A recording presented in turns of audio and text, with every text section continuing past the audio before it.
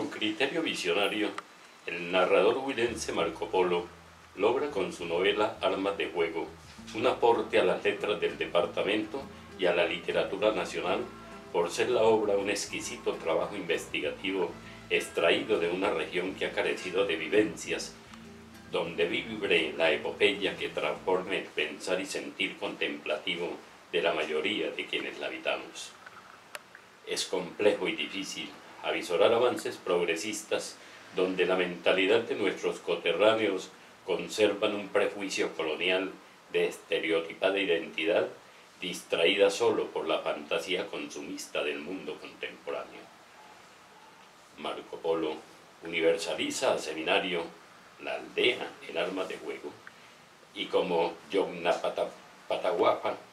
en William Faulkner, Macondo en García Márquez o Comala en Rulfo, el seminario también hablan los muertos y Polo, narrando en primera persona,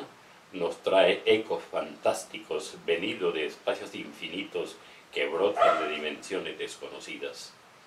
En la novela desarrolla el autor el trabajo con imágenes de recuerdos dimensionando escenas mágicas que, que vienen a ser una especie de recuerdo del futuro. Por eso, muchos fragmentos del relato son como planos de cine donde se inventa poco y se crea mucho. El lector encontrará trazos profundamente kafkianos donde los personajes son todos importantes, pero con igualdad participativa, como se nota en la narrativa vanguardista, con sus creadores Proust, Joyce y Kafka. Polo tiene afinidad con los anteriores que lo persiguen como fantasmas en su escritura y e intenta eludirlos para evitar su imprudencia armas de juego. Es además un paseo agradable por la literatura universal,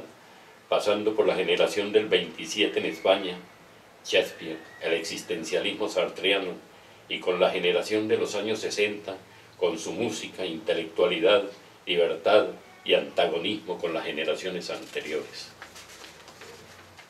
La obra de Marco Polo es a la vez un encuentro con nuestra propia historia, donde hay urgencia de identidad auténtica, es decir, inalienable, que ofrezca opciones que den lugar a mejores espacios en el devenir. Se intuye que es un trabajo de muchos lustros por la solidez de la investigación y la madurez de la palabra.